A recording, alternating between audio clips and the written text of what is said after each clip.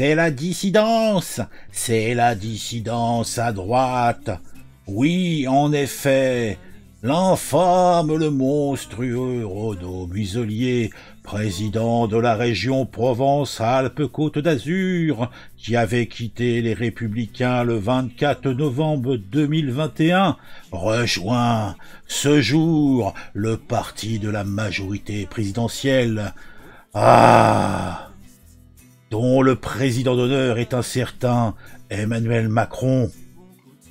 Au résumé, l'infâme Renaud Muselier rejoint Renaissance. Et nous voyons un tweet d'Eric Ciotti qui n'est pas content, pas content du tout. Et il dit L'homo traître a un nouveau synonyme, muselier. Les dictionnaires l'intégreront très prochainement. Méprisable et ridicule.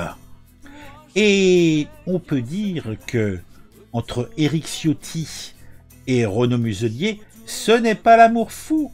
On va retourner dans le passé et s'intéresser un peu à ce couple dysfonctionnel au possible.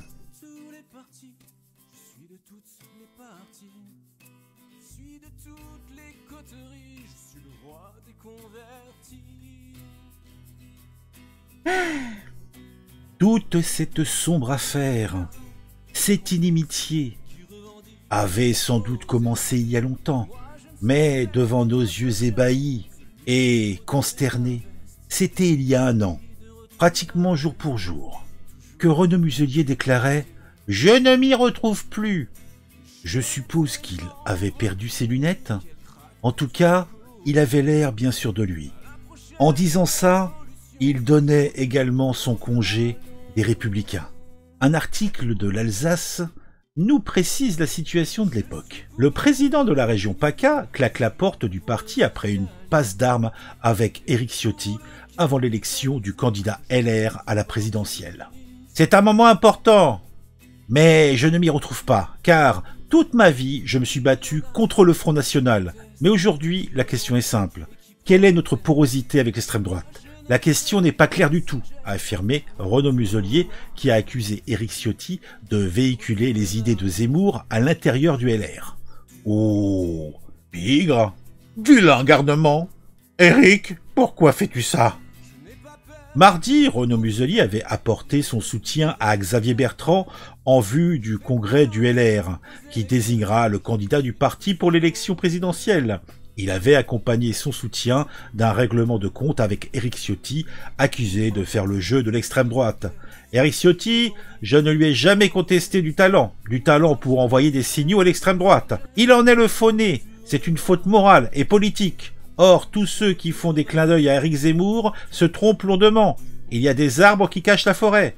Eric Ciotti est le bonsaï qui cache la prairie des LR ambigus, avait-il déclaré dans une interview parisien un soutien avec lequel Xavier Bertrand avait ensuite pris ses distances afin de ne pas fâcher Eric Ciotti. Eh ben dis à ces deux-là, c'est pas l'amour fou Et le temps passe. Les deux anciens amoureux continuent leur chemin, en parallèle, mais plus ensemble. Se passera l'élection présidentielle, se passera les députations, et c'est en octobre 2022 que dans des circonstances bizarres et tendues au Salon des communes et des intercommunalités des Alpes-Maritimes qu'a eu lieu une scène surréaliste. C'était le 13 octobre et c'était entre Renaud Muselier et Éric Ciotti. La tension avait monté d'un cran.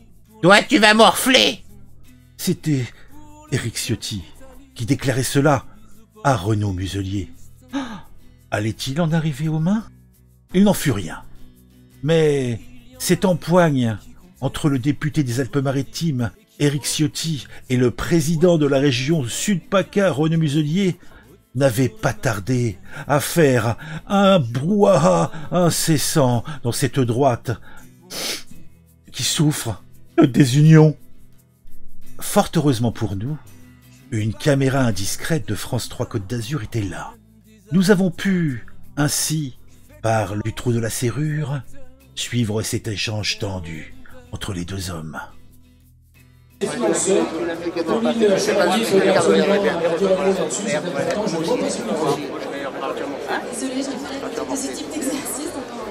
Échange très tendu ce matin entre Renaud Muselier et Éric Ciotti. Le ton de ce cinquième salon des maires des Alpes-Maritimes est donné dans une ambiance pesante. Quelques minutes plus tard, le président de la région Renaud Muselier prend la parole et insiste sur son altercation avec Éric Ciotti. Et je n'aime pas qu'on me menace. Et je n'aime pas qu'on parle mal de moi. Nous sommes dans une situation autour de nous qui est très difficile. Montrons-nous à la hauteur. Faisons en sorte que nous soyons dignes de tout ça. David Lisnard, le président de l'Association des maires de France, qui a été le premier à dénoncer l'iniquité dont ses collègues de droite seraient victimes dans le versement des subventions par la région, ne mâche pas ses mots. Dans le département, il y a des tensions. Il y a des tensions avec la métropole, il y a des tensions surtout avec le président de la région, parce qu'on demande simplement euh, qu'il cesse cette gestion clanique et clientéliste. Le président de l'Association des maires des Alpes-Maritimes, Jean-Paul David, tente d'apaiser les tensions entre les macronistes et les républicains. Le but effectivement de l'association des maires, c'est de s'extraire de toutes ces problématiques. On est là dans notre rôle d'accompagnant, de soutien et nous jouons les équilibres, la sérénité. Les maires ont besoin de sérénité. Une sérénité qui n'est pas près de revenir dans la vie politique de la région au vu des passes d'armes de ces derniers jours. Eh bien, voilà. Vous avez tout compris. Vous avez compris enfin la simple vérité. C'est une histoire de pognon. Le pognon, toujours, je vous le dis. Et qui c'est qui tenait le cordon de la bourse? Dans la région Sud-PACA, c'était Renaud Muselier. Il en voulait toujours plus. Il en voulait plus. Donc il s'est rapproché des macronistes. Hmm. Être pendable. Et peut-être accessoirement garder son poste pour la prochaine séance. Allez savoir. Mais on va aller à l'acte final de ce drame, comme vous l'avez remarqué, en trois actes. Alors, plongeons-nous dans l'actualité. Ce dernier acte commence dans une interview où Renaud Muselier, qui a priori s'est fait opérer des yeux, ou porte des lentilles de contact, petit coquin, déclare à Challenge, à chaque fois qu'il soutient quelqu'un, ce quelqu'un meurt. Autant dire que Ciotti n'a pas apprécié le tacle de Muselier. En effet, Muselier en remet une couche sur Ciotti. Au Salon des communes des Alpes-Maritimes, le 14 octobre, l'échange musclé entre le LR Éric Ciotti et l'ex-LR Renaud Muselier a fait le tour des réseaux sociaux. Quelques semaines plus tard, le président de PACA n'est pas mécontent de ce combat de coq. Il est reparti aussi vite qu'il est venu, mais pas sans avoir pris un coup d'ergot. Il a perdu quelques plumes dans l'histoire et d'enfoncer. Éric Ciotti, à chaque fois qu'il soutient quelqu'un, ce quelqu'un meurt. J'ai prévenu Laurent Vauquier. Hier, le sombre Renaud Muselier met genoux à terre et front sur le sol et rejoint le parti présidentiel Renaissance.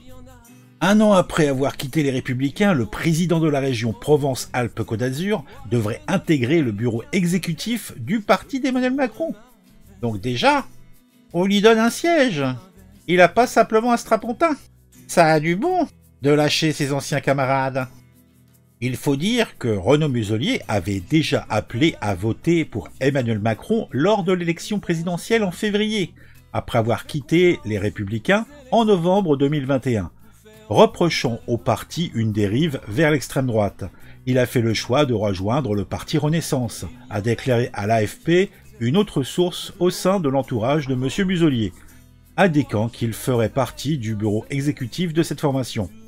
Il avait fait savoir qu'il ne resterait pas absent de la scène nationale, qu'il regardait avec beaucoup d'attention. La recomposition politique après la présidentielle a poursuivi cette source. Je rejoindrai début décembre le parti Renaissance, a-t-il déclaré à l'AFP, ajoutant qu'il ferait partie du bureau exécutif de cette formation. Je m'étais donné le temps de prendre une décision d'ici la fin de l'année sur un positionnement national, a poursuivi M. Muselier, en assurant qu'il ne se retrouve pas dans les propos des trois candidats à la présidence des Républicains. Il avait remporté la présidence de la région en juin 2021 en battant largement le candidat RN Thierry Mariani, lui-même ancien membre des Républicains. Renaud Muselier avait fixé deux critères pour son choix de parti, pas de compromission avec l'extrême droite et pas d'écurie présidentielle. Il a ainsi préféré Renaissance à Horizon, le parti d'Édouard Philippe, également membre de la majorité présidentielle au sein de Renaissance.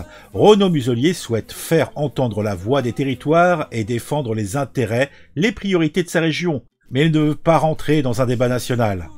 Monsieur Muselier avait par ailleurs lancé en juillet un parti régional nommé Cap sur l'avenir, nos territoires d'abord, appelant au rassemblement de tout l'arc démocrate et républicain après des élections législatives où l'extrême droite a remporté la moitié des circonscriptions dans cette région du sud de la France. Ce parti continue d'exister, a assuré son entourage.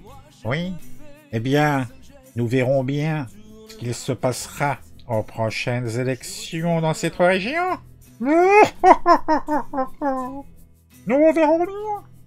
En tout cas, Monsieur Muselier est un politicien de nos régions de la graine de sénateur. Donc que dire, que penser? Pas grand-chose. Je dirais qu'il est pragmatique. Être dans un mouvement qui a fait combien aux élections présidentielles? 4% 7% 4, Plutôt 4%, non Un truc comme ça Je sais pas trop. En tout cas, moins de 5%. Je comprends que il a peur pour son siège. Déjà que aux dernières, hein, c'était pas, c'était chaud quand même, hein. Bon, on a fait le tour. Je trouvais cette euh, petite news plutôt sympathique et nous montrait que les politiciens, comme Lordon l'a dit, font de la politique et que souvent ce n'est pas très très beau.